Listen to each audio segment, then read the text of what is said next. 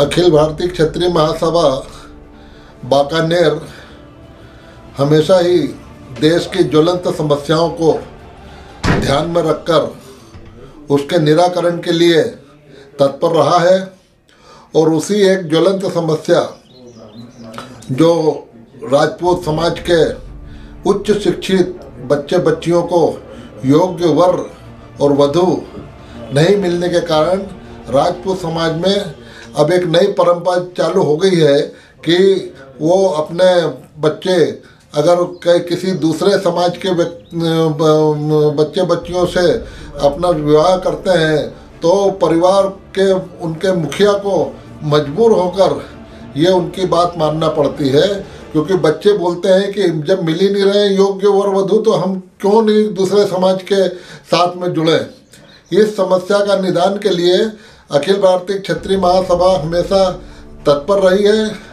सर्वप्रथम जो आरक्षण के विरुद्ध पूरे देश में जन जागरण जो पैदा किया है कि राजपूत समाज अपने स्वयं के लिए आरक्षण नहीं माँगता राजपूत समाज ने आह्वान किया पूरे देश में। सर्वप्रथम 2010 में कश्मीर से कन्याकुमारी तक यात्रा निकाली।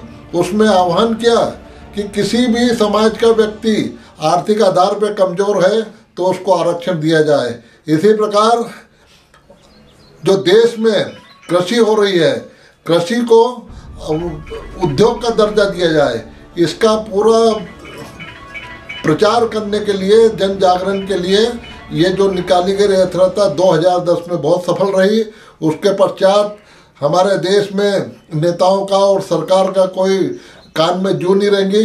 फिर हम लोगों ने 2017 में रथ यात्रा का आयोजन किया। दोनों बार साढ़े पाँच महीने रथ यात्रा पूरे देश में चली कि आर्थिक आधार पर आरक्षण दो। आज देश में अगर आर्थिक आधार पर आरक्षण की मांग की जा रही है तो उसका सर्वप्रथम अगर श्रेय जाता है तो अखिल भारतीय क्षेत्रीय महासभा की ये दोनों रथ यात्रा का जाता है।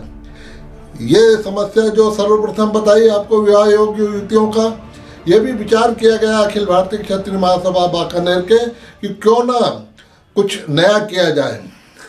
वर्तमान में कोविड की इस महामारी ने हमको सिखा दिया है कि कैसे आज आधुनिक सोशल मीडिया और ये जो नए नए टेक्नोलॉजी है, उसका कैसे उपयोग किया जाता है।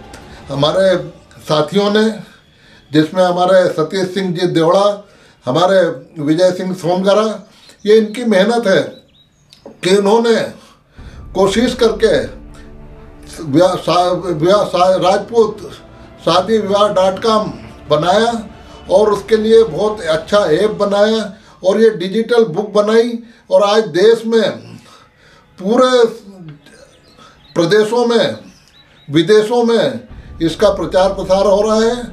अभी हज़ारों बार डेटा आ रहे हैं। इसमें उच्च शिक्षित युवा युवतियों का निशुल्क जो रजिस्ट्रेशन किया जा रहा है और इसका लाभ कोविड में जो कहीं परिवार के मुखिया जा नहीं सकते हैं किसी के घर आ नहीं सकते हैं, घर बैठे उनको ये लाभ दिलाया जा रहा है कि आप अपने घर में बैठकर अपने रजिस्ट्रेशन किए हुए बच्चे बच्चियों के योग्य वर वधु को अपने घर में बैठ कर एक क्लिक में हज़ारों लड़के लड़कियाँ जो आपके सामने आएँगे, उसमें आप जो सिलेक्ट करेंगे उसको हम उनके सामने आपका बायोडाटा प्रस्तुत करेंगे और आपका संबंध बने।